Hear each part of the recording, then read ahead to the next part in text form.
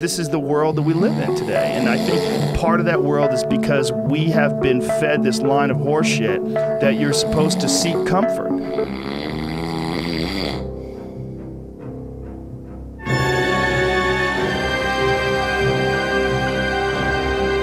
Pull out that YouTube